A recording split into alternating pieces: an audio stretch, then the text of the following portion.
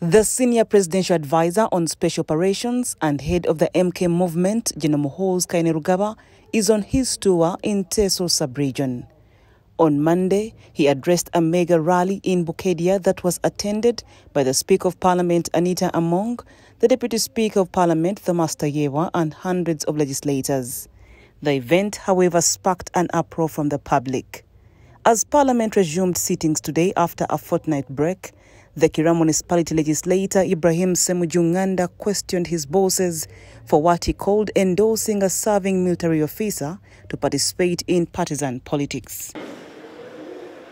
Again, both of you, our leaders, we saw you escorting someone who has been accused of committing a crime under the UPDF Act, receiving him rendering this parliament uh, vulnerable. Ssemujju informed Parliament that there is already a case before court filed by Male Mabirizi challenging Muhoozi's participation in partisan politics. We can wake up and the speaker, both of them are being summoned either as witness or co-accused. Because already the matter is before the High Court that a military officer is involved in partisan politics. So the procedure issue I'm raising, Mr. Speaker, I had intended to renew that matter.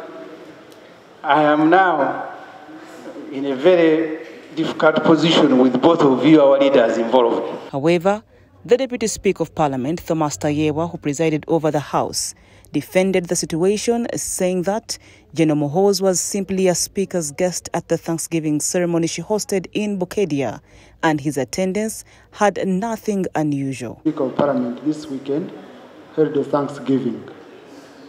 And uh, in the Thanksgiving, it was for two days.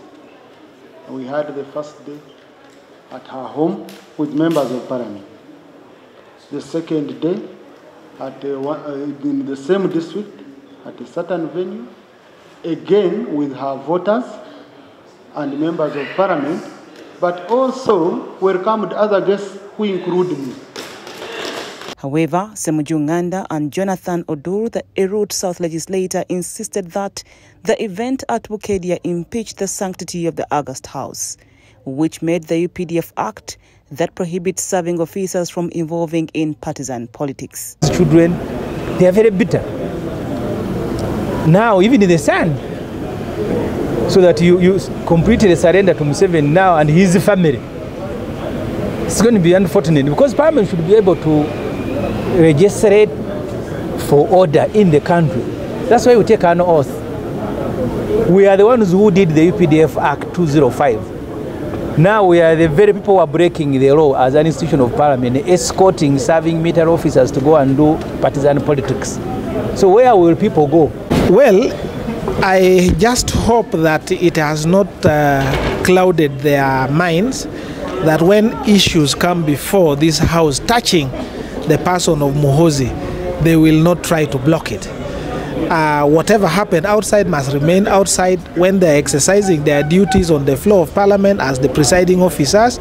They are under the command of the law to remain impartial and to entertain all matters that will come. Members who attended the event also defended the event, saying there was nothing irregular since General Muhoozi was among the guests. I was present and I did not see the kind of endorsement people are talking about.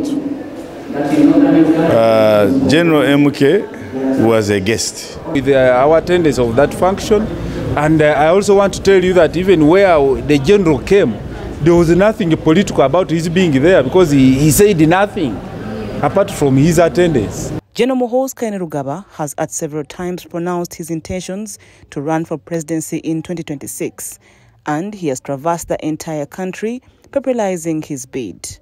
Meanwhile, the Prime Minister, Rabina Nabanja, has outlined the solutions to the World Bank funding freeze.